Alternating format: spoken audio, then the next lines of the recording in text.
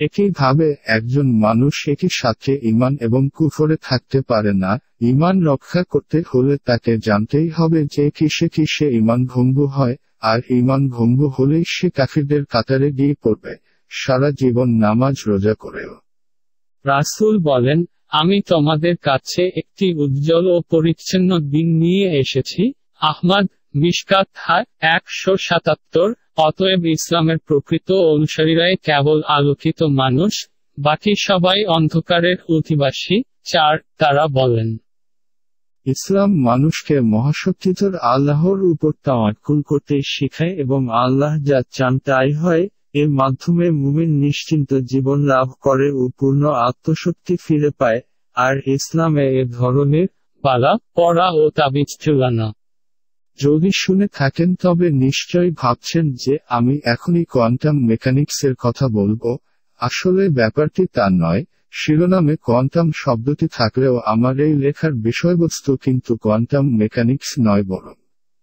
বিজ্ঞান আমার এই ছোট্ট জীবনে বিজ্ঞান বেশ বড়সড় একটা জায়গা দখল করে আছে।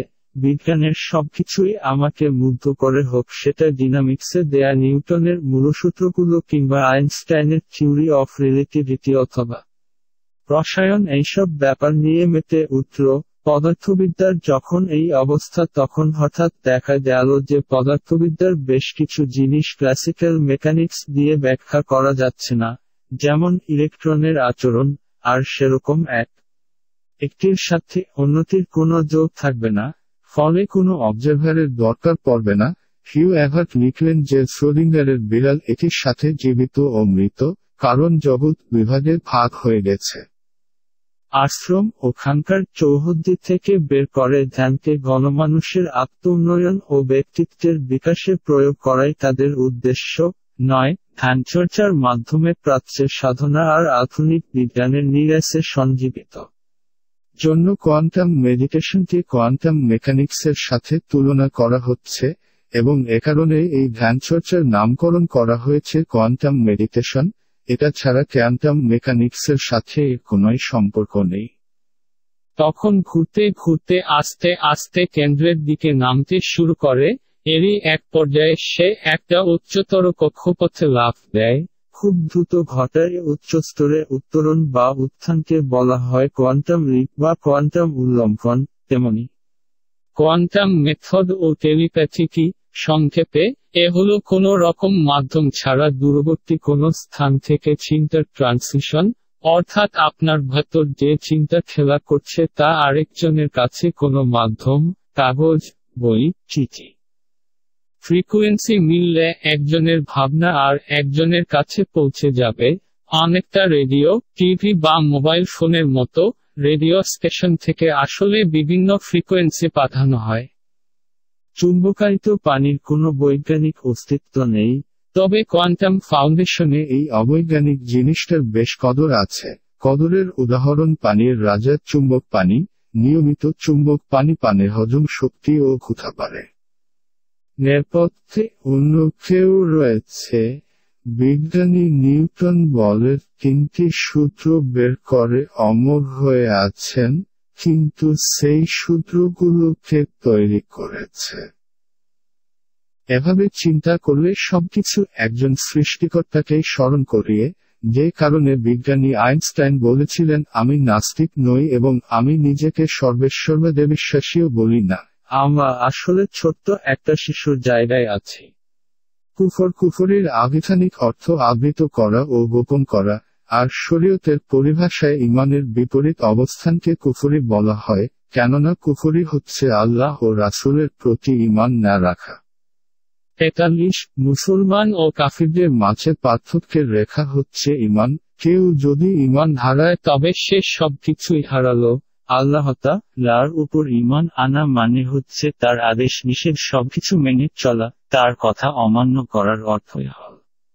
কোয়ান্টাম মেথড শূন্য কথা কোয়ান্টাম মেথড বলতে কোয়ান্টাম ফাউন্ডেশন কি বোঝাচ্ছে সেটা আমাদের জানা দরকার।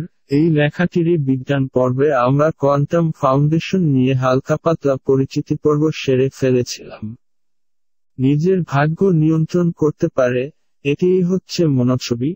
মনোছবি ব্যবহার করে ঘটিয়ে ফেলা কয়েকটি ঘটনার বর্ণনা কোয়ান্টাম ফাউন্ডেশনের মাধ্যমেই জানতে পারা যায়, এক তরুণী বিশ্ববিদ্যালয় থেকে মাস্টার্স পাশ করে ভাবছে। মাটির ব্যাংকটি মাটির ব্যাংক হচ্ছে কোয়ান্টাম ফাউন্ডেশনে মানত করে টাকা জমা করার একটি মাধ্যম। পরে জমাকৃত টাকাসহ মাটির ব্যাংকটি কোয়ান্টাম ফাউন্ডেশনের অফিসে জমা দিতে হয়, এটি শুধু টাকা জমা রাখার পাত্র। কোয়ান্টা সংকেতটি কোয়ান্টা সংকেতকে দুটো ভাগে ভাগ করা যায়, কোয়ান্টা ধ্বনি আর কোয়ান্টা ভঙ্গি। চুয়াত্তর কোয়ান্টার সংকেত সম্পর্কে কোয়ান্টাম ফাউন্ডেশনের বক্তব্য হচ্ছে, কথিত আছে, অলৌকিক শক্তি বলে দরবেশ ও ঋষিরা। এটা তো তিন আঙুল মিশিয়ে করা যেতে পারে। প্রাচীন ঋষি দরবেশরা কেন দুই আঙুলে করেছেন? এ পুরোপুরি ব্যাখ্যা প্রায় বিস্মৃতির অতলে অকর্ষিত। কিন্তু এর জ্যোতিষ বৈজ্ঞানিক ব্যাখ্যা আমাদের জানা, আমরা জানি। ধ্যান করে আপনার মধ্যে অতিচেতনার উন্মেষ ঘটলে সেটাকে কাজে লাগিয়ে অন্যান্য কাজ করার জন্যই কমান্ড সেন্টার বানাতে হয়। কমান্ড সেন্টার থেকে আপনি সবকিছু নিয়ন্ত্রণ করতে পারবেন কমান্ড সেন্টার সম্পর্কে কোয়ান্টাম পারিবারিক মতো বিরোধ, দূর সকল অস্ত্রোপচার যন্ত্রের যান্ত্রিক ত্রুটি বা তথ্য বের করার জন্য কিংবা ঘরে বসে বহুদূরে কারও উপর নজরদারি প্রভৃতি কাজ করে ফেলা সম্ভব। কুফর ও শিরক নিয়ে আলোচনা করেছিলাম, বিরাট কীভাবে কুফরে ও শিরকের পথে নিয়ে যায় তাও আলোচনা করেছিলাম, এবার আমরা ইসলামের দৃষ্টিতে কিছু বিষয়ের অবস্থান সম্পর্কে জানব, যেমন ভবিষ্যৎ গণনা করা কিংবা সুফিবাদ নিয়ে। ইতিহাদ চুরাশি দুটো বস্তু এক হওয়াকে আরবিতে ইতিহাদ বলা হয়, পথভ্রষ্টের পরিভাষায় ইতিহাদ হল এই ধারণা যে স্রষ্টা ও সৃষ্টি অথবা এর কোনো অংশ প্রকৃতপক্ষে এটি সত্তা, স্রষ্টা ও গোটা সৃষ্টি এটি সত্তা হওয়ার। সৎকর্মশীল, দার্শনিক প্রকৃতির লোকেরা স্রষ্টারই অংশ, হুলুল ও ইতিহাদের ধারণা সুস্পষ্ট কুফর ও ধর্মদ্রোহিতা আর এর মধ্যে নিকৃষ্টতার দিক থেকে ইতিহাদ হুলুলের চেয়েও মারাত্মক। সুরা আলে ইমরানের একশো নব্বই মাইনাস একানব্বই আয়াতে আল্লাহ জ্ঞানীদের বৈশিষ্ট্য বর্ণনা করে বলেছেন, তারা আকাশ ও পৃথিবীর সৃষ্টির রহস্য নিয়ে গভীর ধ্যানে তাফাক্কুর নিমগ্ন হয়, পঁচানব্বই, যথার্থই আল কোরআন বলে।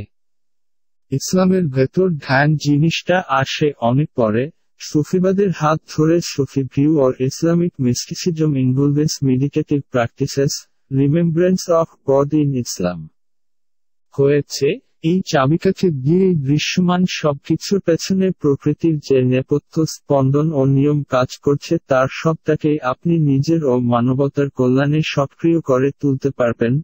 একশো চার মেডিটেশনের মাধ্যমেই আপনি সংযোগ। আল্লাহকে হাজির নাজির হিসেবে অনুভব করতে পারবেন, তখন সেই নামাজ আপনি পড়তে পারবেন, যে নামাজ মানুষকে প্রশান্ত করতে পারে। তখন আপনি বলতে পারবেন নামাজি যথেষ্ট, কিন্তু ওই স্তরে যেতে হলে মেডিটেশন প্রয়োজন, একশো হাত। আগের আলোচনায় আমরা দেখেছিলাম যে মাটির ব্যাংকটে আসলে কল্যাণ পাবার শর্টকাট একটা মাধ্যম হিসেবে ব্যবহার করা হচ্ছে যেমন, ফাইল হারিয়ে গেছে তো মাটির ব্যাংকে টাকা রাখুন, হারানো ফাইল চলে আসবে। অর্থাৎ মানত করলে তা পূরণ করতেই হবে আল্লাহ তাআলা মানত পূরণ করতে হুকুম করেছেন, তবে কোরআনের কোথাও আল্লাহ রাব্বুল আলামিন মানত করতে আদেশ করেননি বা উৎসাহ দেননি, যেমনটি তিনি দিয়েছেন দানের ব্যাপারে কিংবা। শুধুমাত্র আল্লাহ তাদেরকে যতটুকু জানান তারা ততটুকুই জানেন, যেখানে আল্লাহতা না নিজেই ঘোষণা করেছেন যে মনোনীত রাসুল ব্যতীত আর কাউকে তিনি অদৃশ্যের জ্ঞান জানান না, সেখানে আমার আপনার মতো নগণ্য মানুষকে সেই হল আল্লাহতা লা র কাছ থেকে কল্যাণ চেয়ে নেওয়া। এর উদ্দেশ্য হল দুটি বস্তু থেকে ভালতি কামনা করা। যেমন ধরুন, আপনি দুটো ভালো কোম্পানিতে চাকরির অফার পেয়েছেন। সুরা আনানাসের মূল কোথাও একই, অথচ কোয়ান্টাম ফাউন্ডেশন আল্লাহ লাকে বাদ দিয়ে একজন অন্তর্গুরুর উপর নিজেকে অশুভ শক্তি হতে মুক্ত রাখার জন্য নির্ভর করছে। কত বড় মাপের শিরক এটি চিন্তা করুন। জ্ঞানের অধিকারী একশো পঁয়ত্রিশ নির্দেশনা অনুযায়ী কোয়ান্টাম মেথডের প্রচলনকারী মহাজাতক সাহেবই হবেন অন্তর্গুরু। তাই যদি হয় তবে অন্তর্গুরুর বৈশিষ্ট্যানুযায়ী মহাজাতক সাহেবের এমন ক্ষমতা রয়েছে যাতে করে তিনি তার সেগুলো গ্রহণ করার কোনো উপায় নেই, যেখানে হজরত উমর রা এর মতো শ্রেষ্ঠ মুসলিমদের একজনেরও আহলে কিতাবদের তাওরাতে কিছু খোঁজ করার অধিকার নেই সেখানে ভগবত গীতা বা বেদের তো প্রশ্নই উঠে না। তাছাড়া কোয়ান্টাম ফাউন্ডেশন যে ইস্তিখারাহ সালাতকে স্বপ্নচর্চা বা স্বপ্নে ভবিষ্যৎ দেখার একটি মাধ্যম বলে আসছে। ষাট সেটাও সম্পূর্ণ ভুল। ইস্তিখারাহ সালাতের মাধ্যমে ভবিষ্যৎ দেখা যায় না ইস্তিখারাহের অর্থ। ইমান নষ্ট হয়ে যেতে পারে, কোয়ান্টাম মেথড কাফিরকে কাফির মনে করে না, তাই তারা কাফির ধর্মের উপাসনা পদ্ধতি, ধ্যান, ইসলাম ধর্মে নিয়ে আসে কিংবা তাদের ধর্মের সাথে ইসলামকে একটি অবস্থানে, কুরআনের পাশাপাশি বেদ